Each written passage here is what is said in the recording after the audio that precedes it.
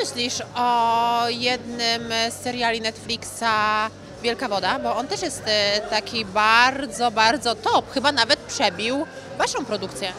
Nie, to mało możliwe, żeby przebił. No dobra, a co o nim myślisz? E, obejrzałam, jeszcze będąc na kajcie w Elgunie. Top, naprawdę szapoba, brawo dla twórców.